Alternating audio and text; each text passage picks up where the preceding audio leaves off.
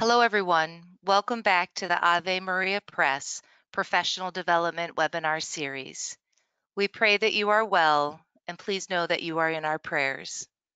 In today's webinar, Scott Weeman will share how the church is called to respond to those dealing with addiction.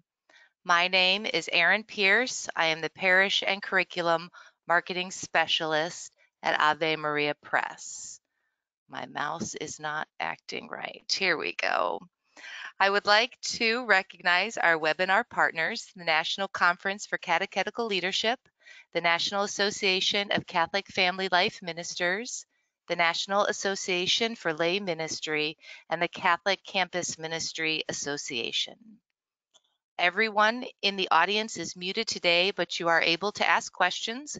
Questions may be sent to our presenter using the questions section of the GoToWebinar panel. I will read as many of those questions as possible at the end of the presentation today. This webinar is being recorded and a link to that recording will be sent to you tomorrow via email. With that, I would like to welcome and introduce our presenter today. Scott Weeman is the founder and executive director of Catholic in Recovery, a nonprofit organization that seeks to help those suffering with addictions. He also serves an, as an associate marriage and family therapist. Weeman is the author of The 12 Steps and the Sacraments. He has appeared on EWTN's The Journey Home, as well as Women of Grace, Christopher Closeup, Catholic Answers, and the Ave Explores podcast. His work has been featured on Aleteia and Patheos. He earned his bachelor's degree in organizational management in 2017 from Point Loma Nazarene University, where he has also earned his master's degree in clinical counseling. Weeman and his wife Jacqueline serve as young adult coordinators at St. Bridget Parish in San Diego, California. Scott, thank you so much for being with us today. You're welcome. It's a pleasure being here. I'm going to go ahead and make you the presenter here and come I'll come back on when we are done. When you are done. All right. So greetings everyone and uh, thank you for joining us. Um, today, as a result of some recent um, stay-at-home mandates in the state of California where I live, um, I'm coming you to from from my home. So uh, yeah, all all may happen. You know, I may have my daughter walking in, although um, likely not. But I'm I'm grateful that you're here and um, really appreciate the opportunity to advance the discussion about addiction recovery in the church and what the church can do to respond to support healing for individuals, families, and communities. And so um, we'll dive into all this. Uh, here's a little bit of an overview as far as what we'll get into. We'll open in prayer. I'll provide a little introduction about myself, discuss the nature of the problem, some various types of addictions, compulsions, and unhealthy attachments, provide uh, overlap, which is discussed in my book, The 12 Steps and the Sacraments, A Catholic Journey Through Recovery, uh, about the 12 steps and the sacramental life of the church.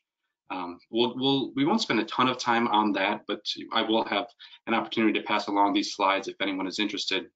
And we'll then look at the process of change. What does that look like? What um, recipes are necessary for um, inspiring and creating uh, long-lasting change in individuals and families and in communities? Discussing, of course, some of the uh, very powerful forces that we're working against and um, getting into things that way. And we'll conclude with prayer. Um, so join me, please, in, in um, praying the full version of the Serenity Prayer. You may be familiar with the first part of it, um, I think that this prayer in its entirety is very beautiful and has gotten me through um, some very personal, challenging times. So we'll begin in the name of the Father and the Son and the Holy Spirit. Amen. God, grant me the serenity to accept the things I cannot change, the courage to change the things I can, and the wisdom to know the difference. Living one day at a time, enjoying one moment at a time, accepting hardship as the pathway to peace taking as he did this sinful world as it is, not as I would have it, trusting that he will make all things right if I surrender to his will, that I may be reasonably happy in this life and supremely happy with him forever in the next. Amen. In the Father, the Son, the Holy Spirit. Amen. that prayer is a prayer that I that I um, recited probably hundreds of times a day in my first couple of days and weeks of, of sobriety and recovery. And I think that especially as we're um, navigating through new times, unique circumstances, challenges in life with um, uncertainty of um, COVID-19, that this prayer for me has been especially grounding and helpful. God, grant me the serenity to accept the things I cannot change, which is most things um, around me, certainly things that are very distant and far away, the courage to change the things I can, my attitude and my behavior mostly, and the valuable wisdom to know the difference. So I hope that um, as we're all, you know, finding new tools and ways to cope with some uh, new circumstances, that this might be a tool that's helpful for you. A little bit about me, um, and Erin, I appreciate the introduction. Very, uh, very nice. I am first and foremost a beloved son of God, which I believe he is well pleased, and um, a husband and a father. I had the opportunity to, um, I've been married to my wife, Jacqueline, for about three and a half years. As mentioned, we are uh, joint coordinators of young adult ministry at St. Bridget Parish in San Diego, where we met and where my life was um, really found new life uh, as a result of getting sober and finding life in the church. Um, I am I started as, as a result of my own recovery from addiction and alcoholism, a variety of addictions, um, which I'll, I'll dive into a bit. Um, I've then founded Catholic in Recovery and now serve as the executive director, uh, where we provide addiction recovery resources for individuals, families, and communities, and um, really try to advance the conversation about addiction recovery in the church, rooted in faith, fellowship, and freedom. Um, I'm the author of the 12 Steps and the Sacraments, a Catholic Journey Through Recovery, which was a gift to write and um, and hear how it's uh, shaped others' lives. And after graduating from a master's degree in clinical counseling from Point Loma Nazarene University in August of 2019, I now um, also serve as an associate marriage and family therapist. And I um, have a heart for working with families, couples, individuals, um, in particular those that are impacted by addiction. And here, for the sake of um, sharing uh, some personal photos, this is a uh, my 20-month-old daughter, Dorothy, um, who we love, and we have another baby girl on the way, uh, due in late June. I found that if I, when I share families of my uh, photos of my family, when I'm speaking or in other um, uh, forums like this, that it, it helps disarm you and uh, create a closer connection and, and relatability, which is one important thing that I'll get to. This picture here a photo that was taken um, about nine months into my own recovery journey. I believe it was in June or July of 2012. And this is a picture with a woman named Dorothy, who uh, our daughter is named after, and who um, I had the opportunity to go on a long road trip with um, during that time. I was nine months sober. She was 43 years sober. Uh, we had met each other in the recovery fellowship, which saved my life. And then I would see her every weekend at daily mass at 9 a.m. mass and we would uh, go next door to the Lutheran uh, church where they were serving coffee. We didn't have a coffee kind of stand yet. Um, and we would drink their coffee, which was prepared by a Catholic who was also a recovering alcoholic. And um, we would just spend half hour to 45 minutes together every day. And she would, um, you know, reflect on, on some of the thoughts that she had and uh, really enjoyed living some of the vicarious adventures of my early sobriety. So uh, that picture is very meaningful to me and just goes on to just show the you know the the people individuals who had a really lasting impact from me and um, those people can come in variety of shapes and forms and, and fashions a few quick points that I want to get to and this first slide uh, clearly dispels that is addiction does not discriminate and so there's a few things that as we're serving and pastoring to the needs of those impacted by addiction, compulsive behavior, and unhealthy attachments, um, let's note that addiction does not discriminate based on socioeconomic status, um, based on you know ethnicity, race, um, gender, clergy or layperson. Addiction impacts all of us, and um, there's no one way to find um, protect immunity from addiction other you know other than maintaining a spiritual connection with god in some ways and we'll get into some of that i'm not really great i'll, I'll be honest with the prevention side of things if i was I probably wouldn't um, be in this position myself. A blessing, but um, recovery is something that I know very well. Additionally, let's also note that addiction is not a moral referendum on one's life.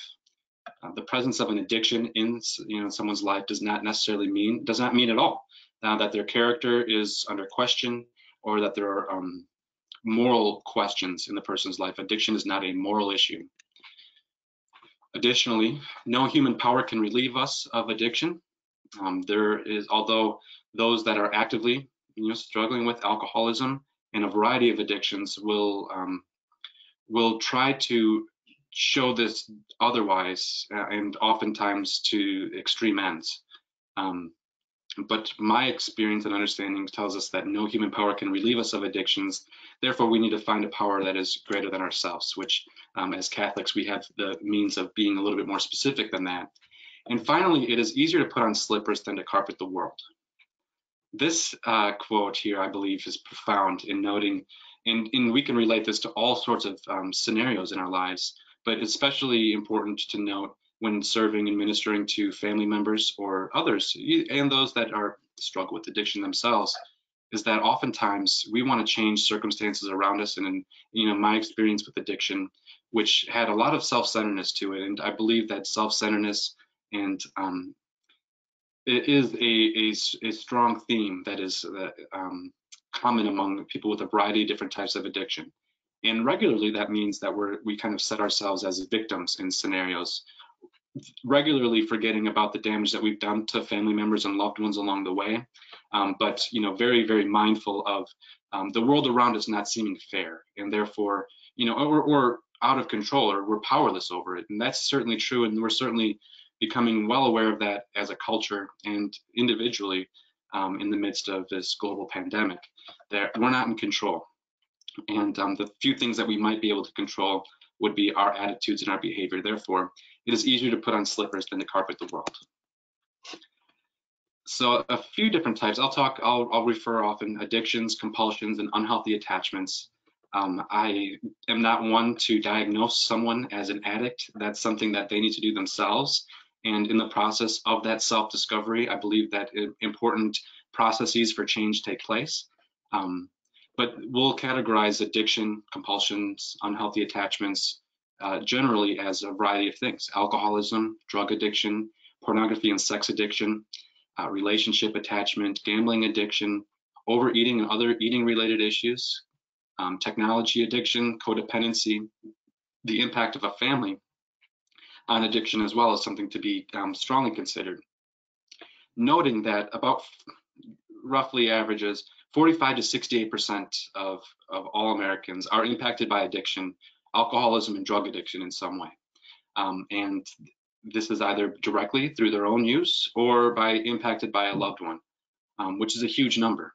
And you know, I, this, and it, what also makes it interesting is that when I'm sharing, in, often in these settings, I'm speaking to you both as someone who serves the church through pastoral ministry, various pastoral ministries, but also likely as someone who has also been impacted by a loved one's addiction. So um, I will speak to you kind of from both of those places. Perhaps you yourself are uh, an addict in recovery or not in recovery as well. Um, so your experience may have some consistency with, with what I'm sharing. But various types of addiction, many of us, most of us, if not all of us, are impacted in some way. Again, 45 to 68% of Americans are impacted by drug addiction or alcoholism. And I think we should note the three stages of alcoholism very quickly. And um, those three stages being the first being fun, the second stage being fun with problems, and third stage being problems. Um, and I think that that categorizes in, in many ways this um, transition from social behavior, escaping, um, you know, challenges in our own lives, coping, using these as coping mechanisms into the process of it becoming an active addiction and beyond um, the the healing of, a, of, an, of an individual human. We need God uh, in order to heal that um, addiction, compulsive, com or compulsive behavior. Um, in addition, of course, we are also well aware of the problems faced by um, pornography and sex-related addictions. Um, I've most recently heard that 40% of women and 70% of men have viewed pornography in the last month. It's likely too that those numbers are um, are conservative numbers, and this is a huge problem, something that is a challenge that we don't really often talk about in the church, but has significant impacts and really tears apart the fabric of, of families and um, individuals. And I've gotten the opportunity to to walk with many men and women who are um, have found fr freedom from the um, a long-lasting uh, battle with pornography and other sexual compulsions. Um, so something that as a church, we have the opportunity to really step up and other 12 steps groups, which may serve that particular need, um, may not do so with the same, I guess, sensitivities of the understanding of, um, of life as, as the Catholic Church might. Um, and other, you know, other, one thing that I found as well is that uh, compulsive overeating and, and food related uh, addictions and compulsions are rampant in our culture, a very silent addiction that, that often goes undiscussed and is regularly untreated. Um, but there are uh, very active groups, um, fellowships that do serve um, those that struggle with compulsive overeating. And I found that that's a, another huge, really big uh, need within the church and demographic. Many people like myself will struggle with a variety or almost all of the above of these addictions. And so, you know, for, in my own personal journey, I have um, walked through alcoholism, drug addiction, lust related addictions, gambling, um, compulsive overeating, anything that would often you know, take me out of what the present moment is asking of me. And as we look at what are some common factors um, among these addictions, I would say there are three. And those tend to be denial, shame, and fear. Um, and this sense, these are three very, very strong, cunning, powerful, and baffling uh, factors that we need to pay respect to. And I think that too regularly we go about serving um, the needs of individuals, family members, or communities without necessarily taking this into consideration and um, or, or giving it the proper respect. And I believe that also these three factors are also we find kind of built into the institutional um, institutional nature of the church. And so we need to be aware of that ourselves. Or you know, am I are these actions or is my perception, my um, my view or understanding of a current situation, is that rooted in some kind of denial, shame, or fear? Denial being a very, very powerful thing, one that um, we don't want to necessarily take a look at. And we find this, um, the, the powerful nature of denial in a variety of different settings. Um, and I'm going to share some, some, as I refer to the process of change, I'm going to refer um, to a book called, the title is Change or Die. It's by um, Alan Deutschman and he refers to these uh, very, very elusive, very um, powerful factors keeping us from really taking action um, oftentimes. And that denial is, as we can see in, in heart patients and others who have take life necessary, like life-saving drugs.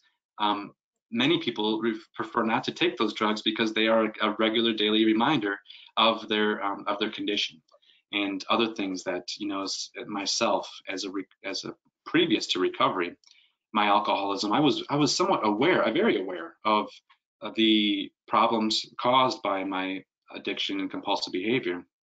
Now, I wasn't necessarily willing to take ownership of that, nor was it prompting any kind of action because, you know, having self-awareness does not necessarily lead to change.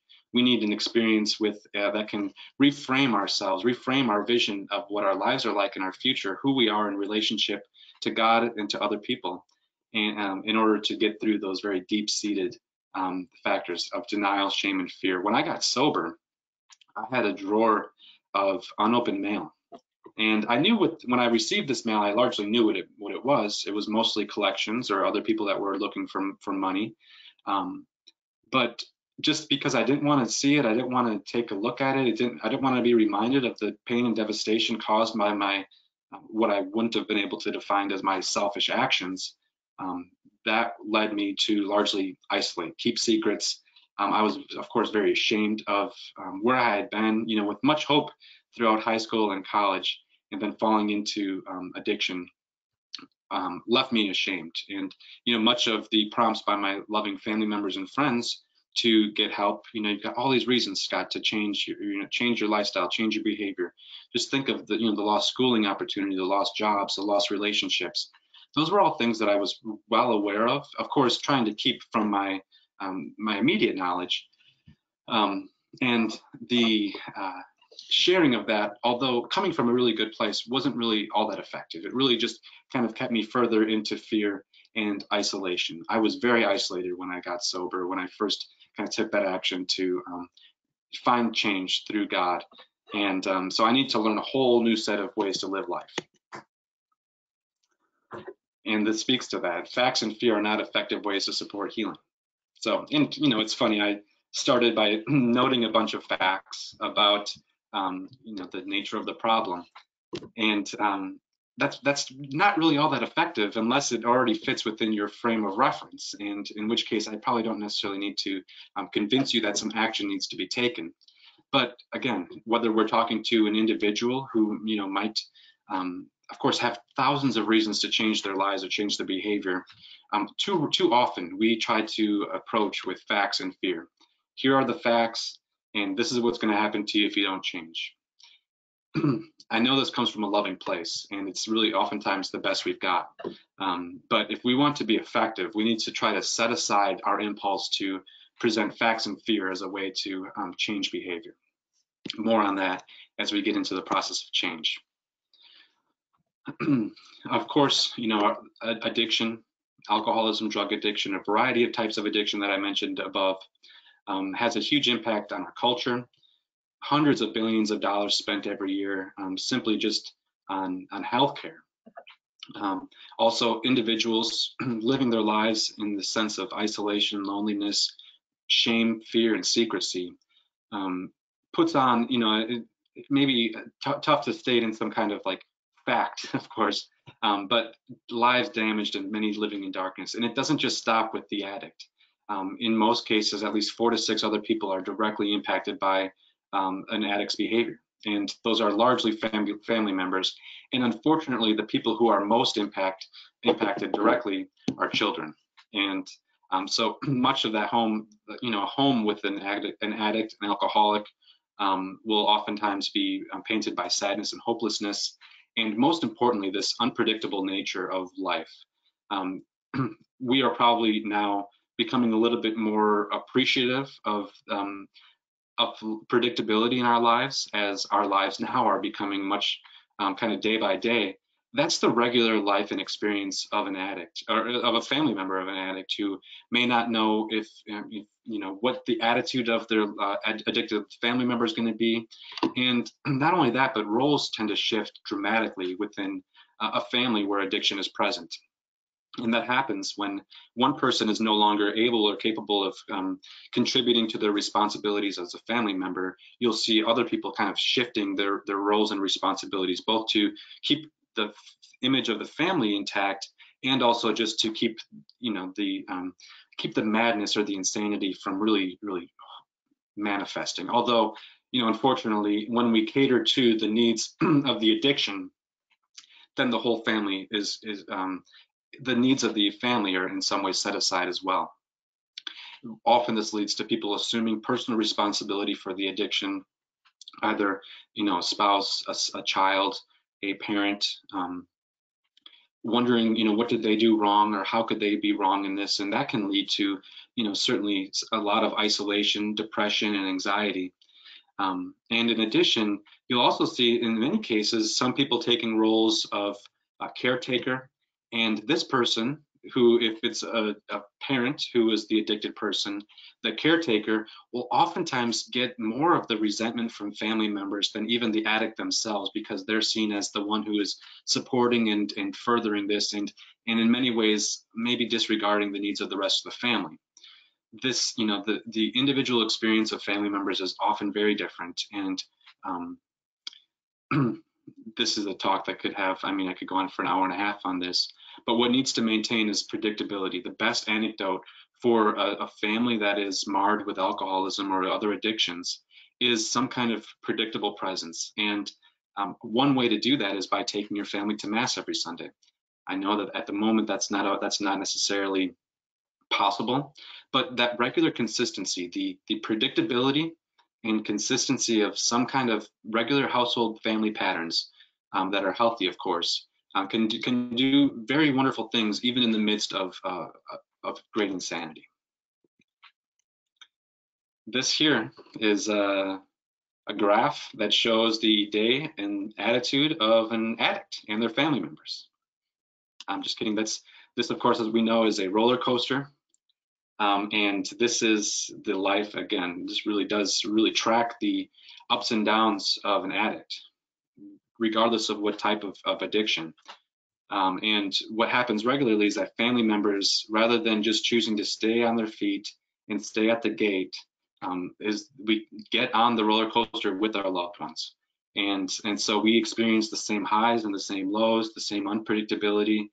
And because we don't want to abandon the person, you know, this comes from the sense of, well, I don't want to abandon my son, my daughter, my husband, my wife, my father, my mother, and my loved one.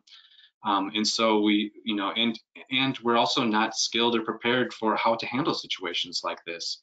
Um, shame and fear keep us oftentimes from having conversations with others, and so this can be a very lonely and isolated um, feeling within a family. And many feel like they're doing the best they can by getting on the roller coaster every day with their loved one. Whereas really the best way to maintain stability is by standing at the gate. You know, the person's going to go by and just being a regular presence and letting them metaphorically know that um, I'm going to be here if you want to get off and I'll see you and I do see you and I love you. I promise you that um, not getting on the roller coaster will not add, add to feelings of abandonment. An addict already feels abandoned, regardless of circumstances or situations. And this is not the, the fault of a family member, but they just have a typically, and generally, I'm generalizing, but I think I'm pretty accurate in most cases to say that um, your, your loving addict, or the addict you love, probably already feels abandoned. It's an irrational feeling, um, but it's a feeling that they're living with on a regular basis. And it's not your fault. Now, this impacts our church as well, as mentioned. There are, I think, a lot of patterns of um, of denial, of fear, of secrecy and shame. Um, we see within the church. We have a hard time having conversations about this stuff, and I think that we regularly will um, make excuses for not having those conversations, saying that, well, we can't have a conversation about pornography in mass, or or, or refer to addiction in a in a homily or other um, communication because that might give people the idea of, well, then they're going to go see it, or there might be kids present. I promise you that children are going to have, uh, if they're not hearing about these things from the church, they're going to be hearing it from their friends and those that will have a less, much less measured approach to um, having this conversation with someone. And so, you know, again, uh, just one example of how our church is certainly not immune from addiction's devastating effects, which also doesn't go to um, you know share the causes or the the challenges faced by parish leaders who again are not immune from um, from addiction addiction does not discriminate um, so this is something that just like a dysfunctional family operates um, the church in all of its beauty in all of its greatness and glory um, you know we still in some ways uh, function kind of like a dysfunctional family in some ways it's beautiful and um, there's some opportunity for us to find new patterns. So this um, quote from Pope Francis shortly after he became Pope in 2013, um, I think really summarizes our call as church and what we're what we're asked to do in the wake of um, uh, an addiction epidemic. So he he notes the thing the church needs most today is the ability to heal wounds and to warm the hearts of the faithful. It needs nearness, proximity, I see the church as a field hospital after battle. It is useless to ask a seriously injured person if he has high cholesterol and about the level of his blood sugars. You have to heal his wounds. Then we can talk about everything else. Heal the wounds, heal the wounds, and you have to start from the ground up. I love that. I think that really captures the um, both the gravity and really some of the the simplicity and what what we're called and asked to do as church, and really just you know, getting over some of our own doubts, fears, shame, and having these conversations and, and really meeting people by by serving them and, and healing their wounds. I believe that this is also a really great opportunity to evangelize to the greater population, those that otherwise may not have um, too many touchstones with the church. But people are, are drawn by healing and um, and spiritual growth and opportunities to really meet their own really desperate needs. Um, that was my way into the church. I found new life into the church because I, if I'm honest with myself, I wanted to impress an ex-girlfriend who was very Catholic, and she at the time was my idol. I couldn't imagine a life without her, just like um, now I couldn't imagine a life without God. Um, but I had to, like, that was my pressing need. Was it was clear that alcohol and, and drugs were a major deterrent to any kind of happiness and growth in my own life. And I needed to first heal those wounds before I had any chance of diving into some of the more nuanced um, discussions. And um, and there's an opportunity for us to do that. I think a really good um, means as we especially uh, use the buzzwords like accompaniment throughout the process, we can learn a lot from recovery fellowships in the process of accompaniment and, um, and changes made possible that way. So a little bit of a, a background on addiction recovery. Um, Alcoholic, Alcoholics Anonymous is the first of many 12-step groups that now exist and was uh, started in the 1930s. Um, a group of individuals, men and women, um, specifically Dr. Bob Smith and Bill Wilson, um, who found that really freedom from alcoholism could come when one alcoholic just shares experience, strength, and hope with another. And that by serving others, serving others with a similar condition, that freedom was found. And they then um, wrote the 12 steps, wrote the big book of Alcoholics Anonymous, a book which has saved my life, and um, and then other you know 12 step meetings, AA first, and others um, began. We now there are a variety of different 12 step groups, um, many like Alcoholics Anonymous, AA, Narcotics Anonymous, um, Marijuana Anonymous, Overeaters Anonymous, Sexaholics Anonymous, Sex Addicts Anonymous. There are very ver various versions of these um, groups, as well as those that serve family members, such as Al Anon and others, um, who provide some more specific um, healing for specific circumstances and situations. I'll, I'll, get into the 12 steps. I'll show those to you in a minute. You can certainly reference those on your own. Um, they're pretty universally adaptable. The first step is the really the only one that discusses specifically either alcohol or one's drug of choice.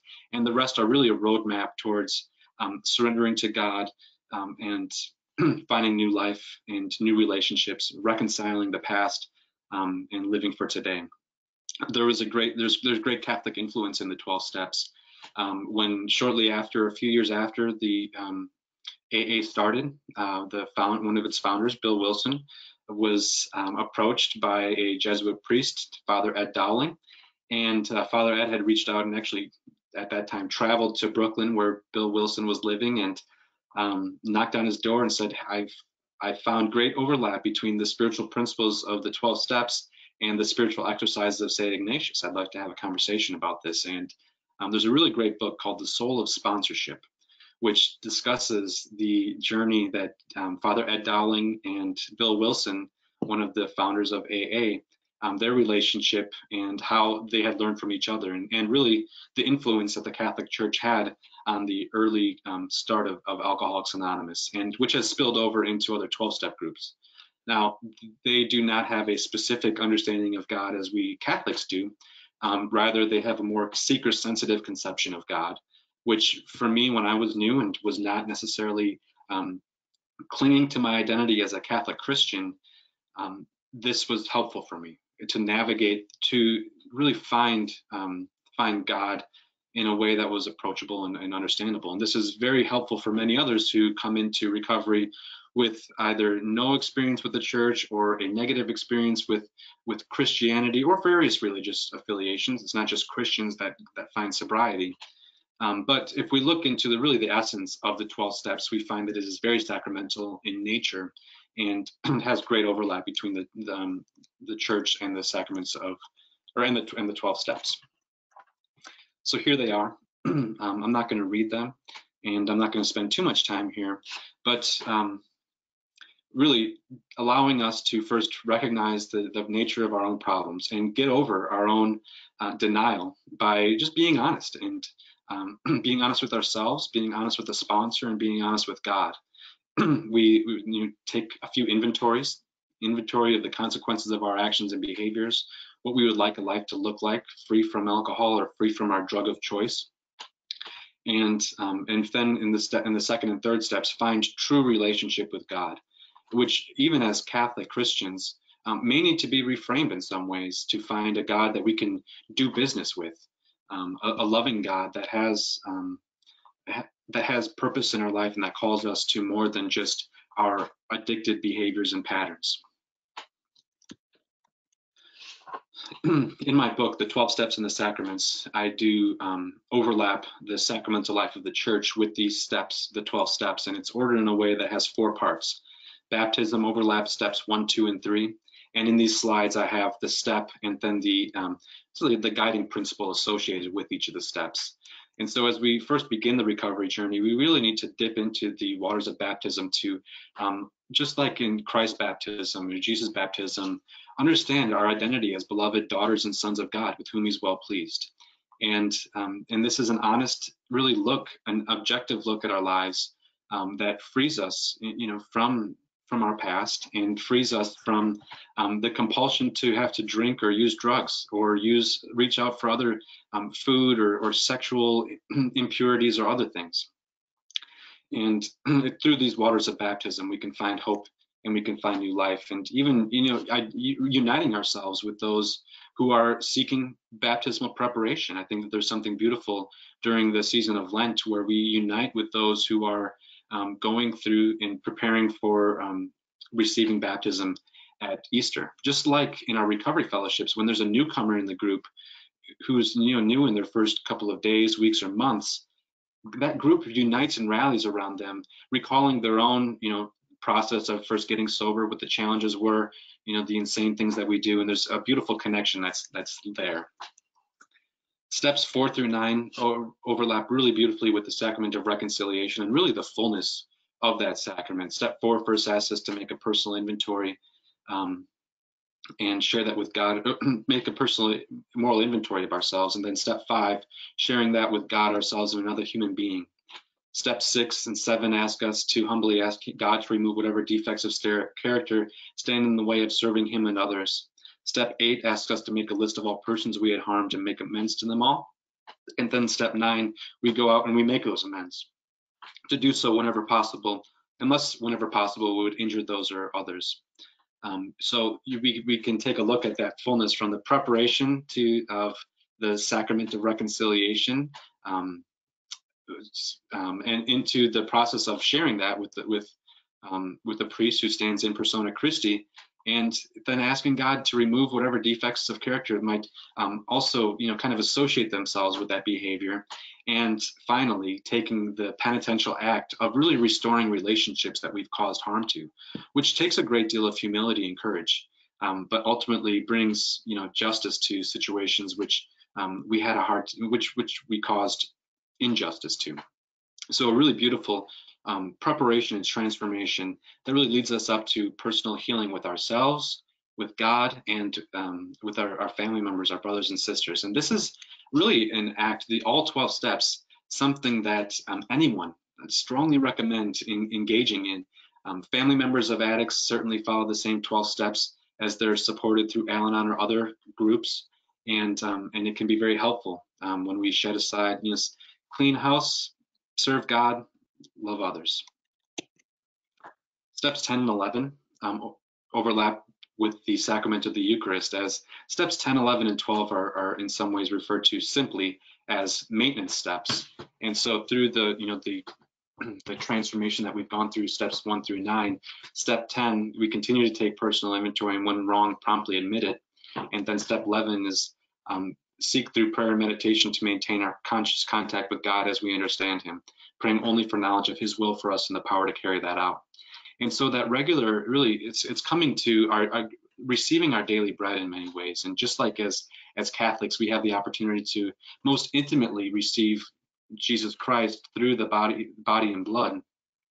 Um, in, in a similar way, we need to continue to go to the source of our healing and that is God through prayer, through our own personal um, reflection and um, understanding how our attitudes, how our, how our behaviors, um, and patterns impact the body of Christ. And I think that finding real unity through um, through the process of the 12 steps with others um, is a great benefit that, um, that I certainly was not expecting. I was really just kind of checking myself into AA, thinking it was the last house on the block, and um, you know, ended up saving my life, much like the Catholic Church, the last two houses on the block for me.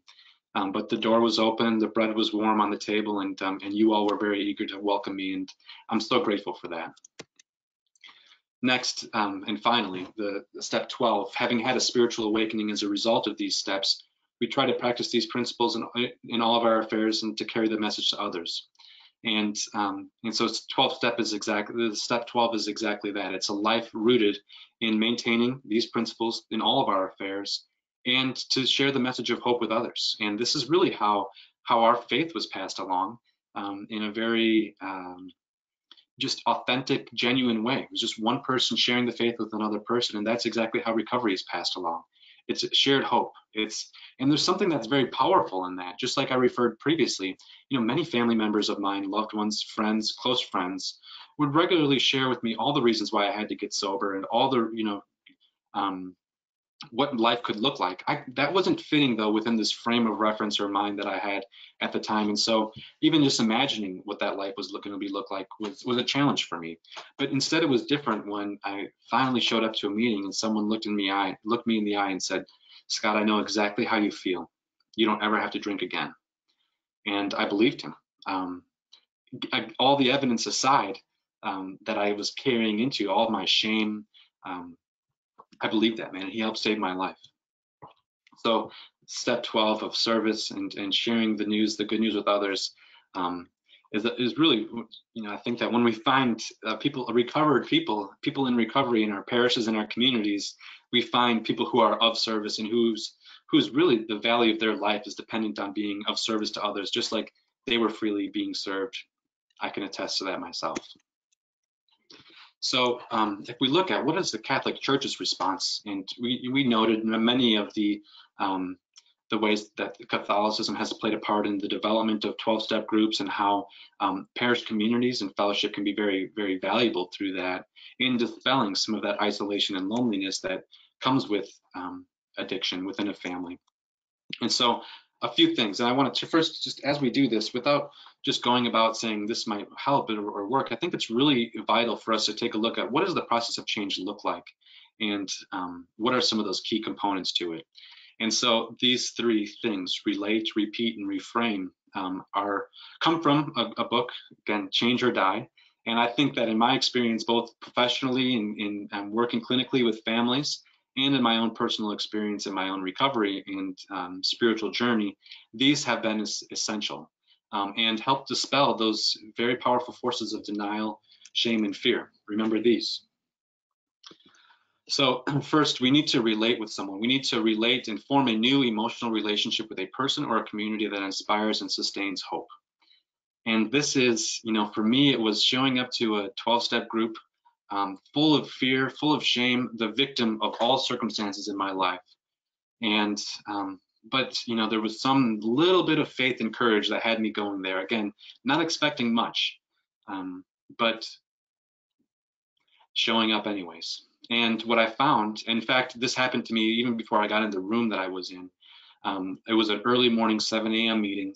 I arrived probably at 6.59 and above the stairs the group was held upstairs i could hear laughter and camaraderie I was thinking, I've got to be in the wrong place. If these people know anything about what I'm going through, they have no reason to be laughing. And, you know, I just remember I sat down, you know, and everyone was announcing themselves as an alcoholic, but doing so with a sense of, of victory. I was a victim of my circumstances, my life as an alcoholic. And um, so there was diff very different, it was very different from what I expected. In addition, I was also expecting and used to this um, whenever I would share, you know, the what was going wrong in my life or what the things, the challenges were, I was regularly, or at least I expected to receive condemnation.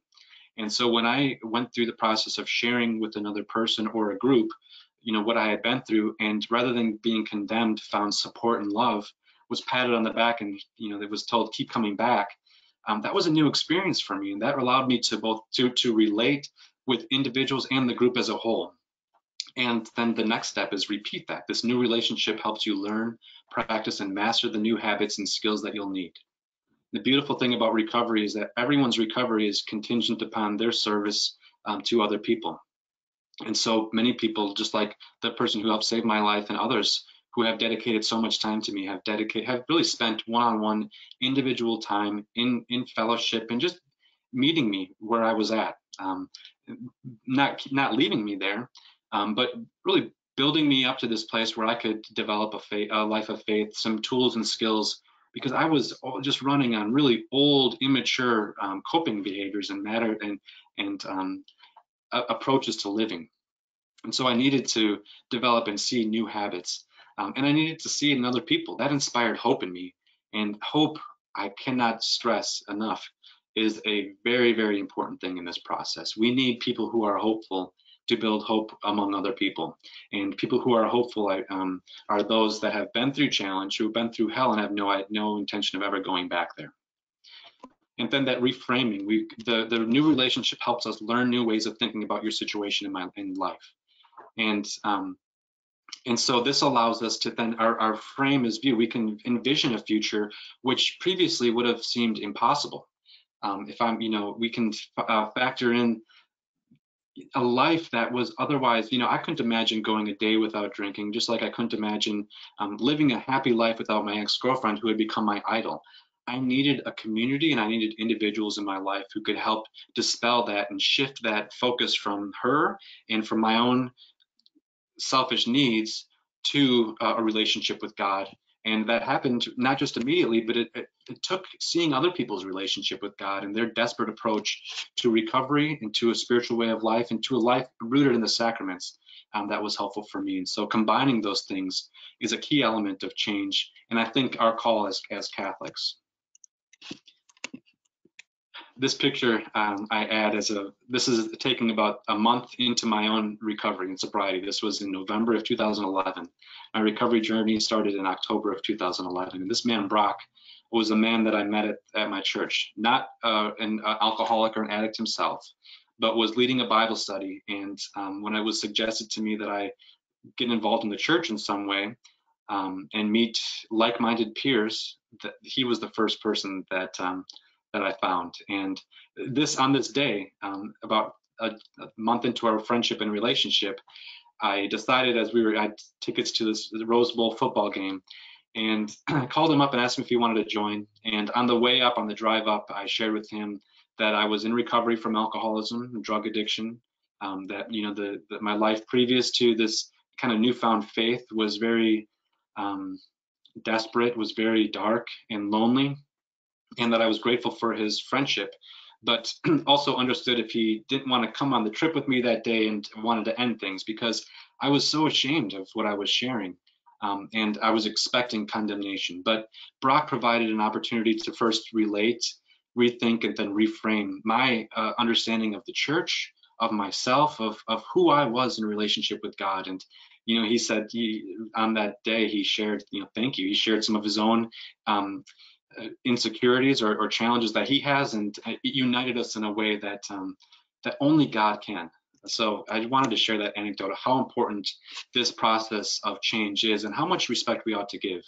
Now, I just want to briefly share a little, few of the resources that we have available at Catholic in Recovery, and you can find all these at CatholicInRecovery.com. Um, first, really three keys to our um, our approach to um, sharing hope. And first is fellowship. We provide a variety of uh, in-person groups in parishes around the country. We now have over 30 Catholic in Recovery groups in 10 different states, and these are held in parishes or sometimes in Catholic community centers like Catholic charities or diocesan offices or retreat centers. We are now also offering virtual meetings in person or uh, vir virtual meetings online. Um, and have meetings available now Monday through Saturday. You'll find our online um, database of meetings available on our website as well.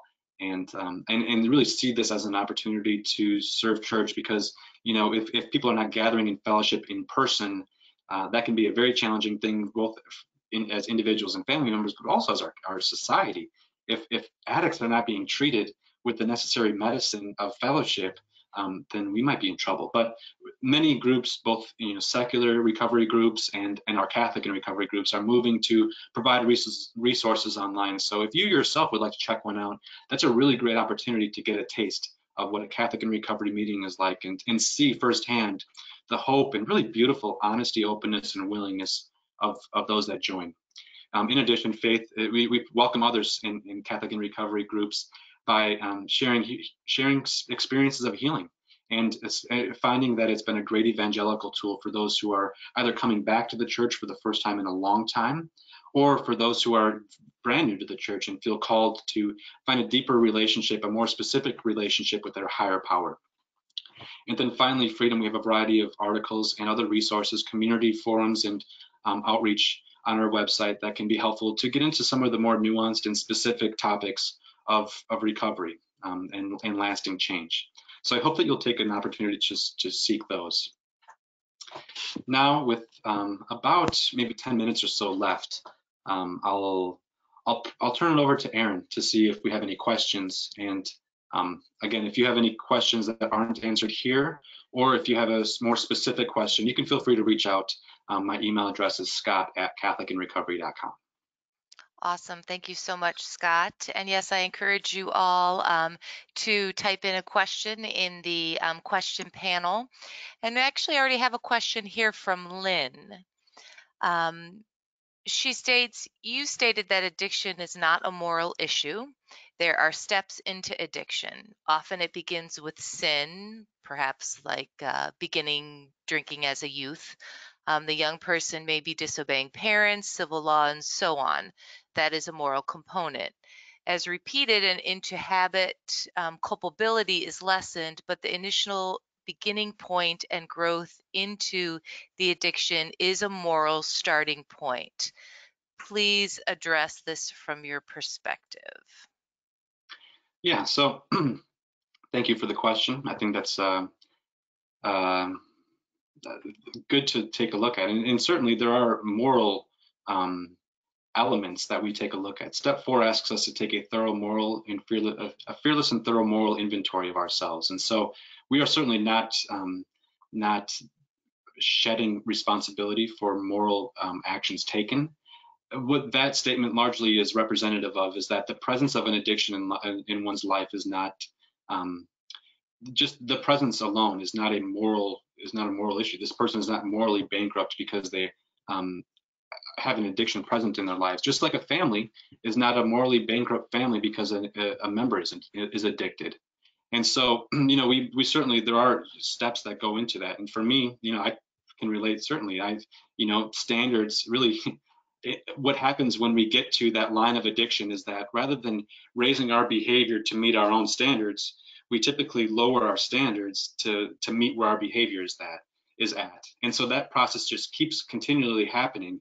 And so it's not just going from, you know, saint to sinner um, in one moment, but rather it's the process of, I think, lowering our, our, our bar, our moral bar in some ways um, to do that. And so, you know, for me, that looked like, um, you know, I held some very, uh, very strong um, expectations of myself when it came to sexual purity and things like that in, in high school. And slowly that bar was lowered and lowered and lowered, as well as, you know, I was only telling myself I'm not going to drink at a, until a certain age, or and then that became lower, and then I'm, I began using drugs and marijuana, and then I was just going to be at marijuana, but then the drugs became harder and harder, and my bar was lowered, lowered, lowered, lowered.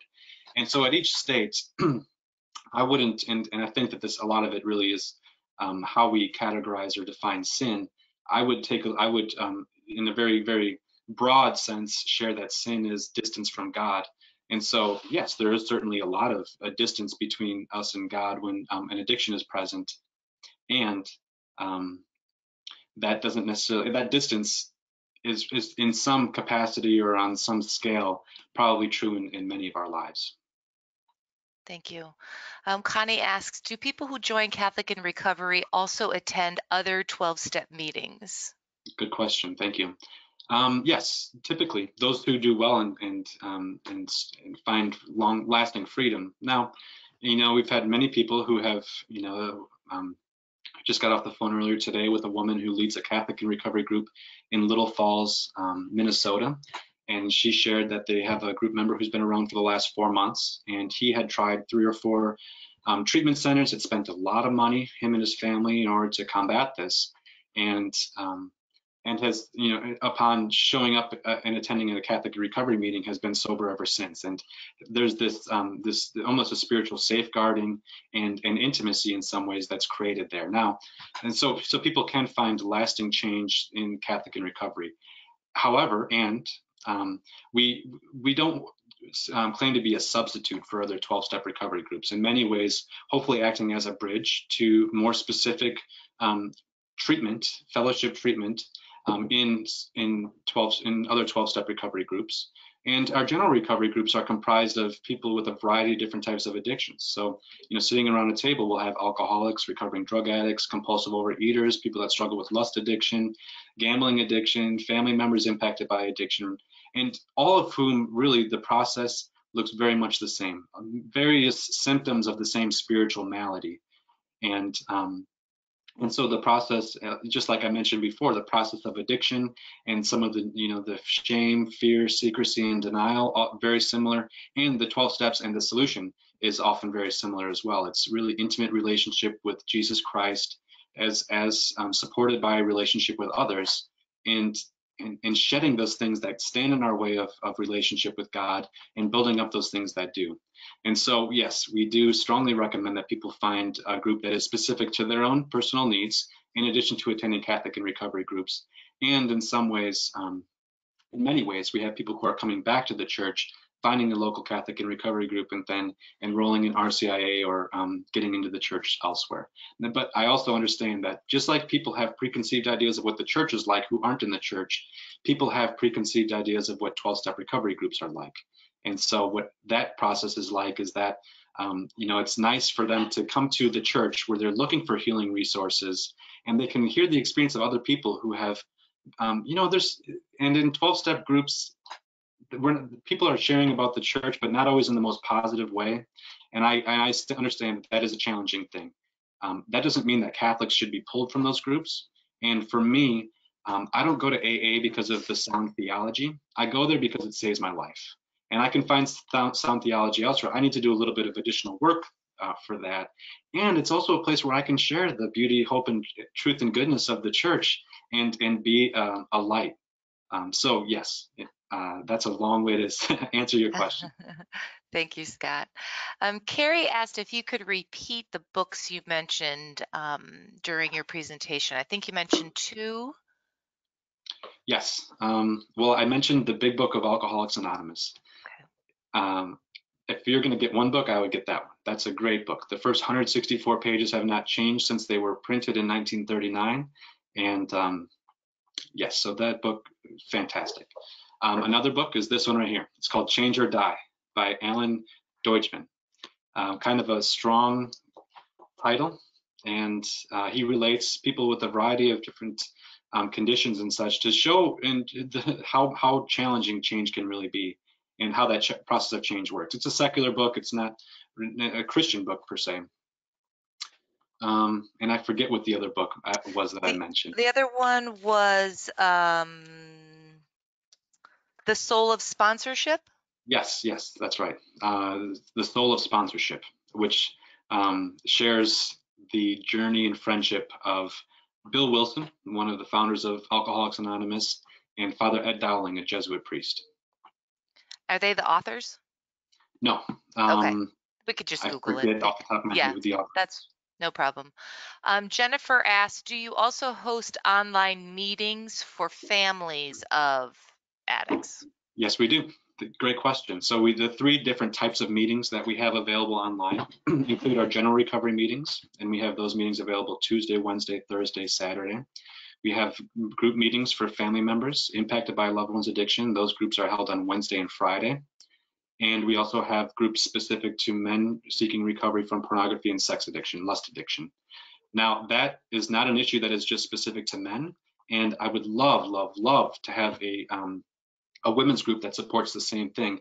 I just haven't found the person to facilitate that group, and it's not my place to be. So if you or someone you know would be um, a, a, leader or willing to support that, I think that that's an important conversation to have to dispel some some other stigmas, you know, within the church and some sub stigmas of an already um, stigmatic topic.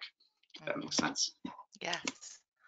So yes, um, you'll find a list of those meetings and uh, login details and dates and times on our website, catholicinrecovery.com. Great.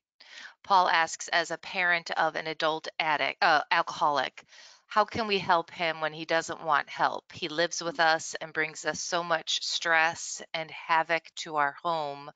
Um, unfortunately, he's a mean drunk. Yeah, that's hard. Um, be kind to yourself first and foremost. Um, you know, we, he's living in a frame of reference that is hard to see this. It's, it's a different frame of reference than you're living in. And I think that it's important to have really have strong boundaries. This is probably not new information, but to really, I think, setting up those boundaries in a way of um, what are the things that um, am I helping him do things that he can do for himself? Or is it something that he, he can't do for himself? And if he can do it for himself, then perhaps by you doing it for him is um, is taking away the opportunity that he has to do it himself. Now he may not want to, and um, if he doesn't want to, then then what help is it anyways? And um, I would also note that it's um, what are the what, I ask yourself what are the reasons that he has to get sober? What are the reasons why he has to get sober? Not why you have to get sober for him. Not what the reasons why you think he should get sober. What are his reasons? And um, and if he hasn't reached those reasons yet, what am I doing anything to keep him from that? So, for example, if you know, I'll, first question I'll often ask a family member who comes to me with this question. It's a common question, and I think, and I have so much respect for the pain that come that the question comes from.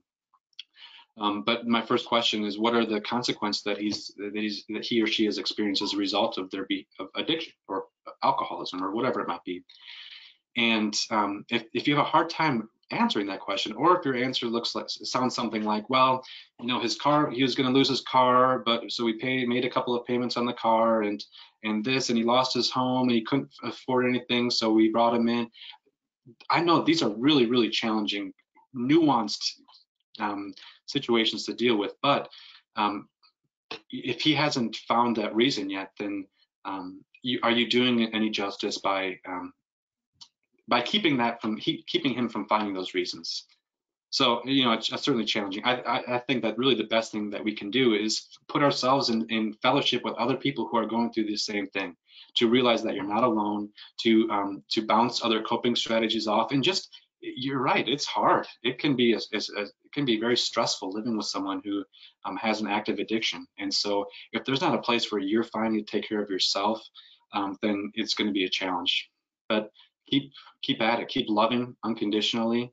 Um, although unconditional love doesn't necessarily mean unconditional um, servant mentality. Uh, that's an okay way to share that. Mm -hmm. And Catholic in Recovery has groups for individuals like this?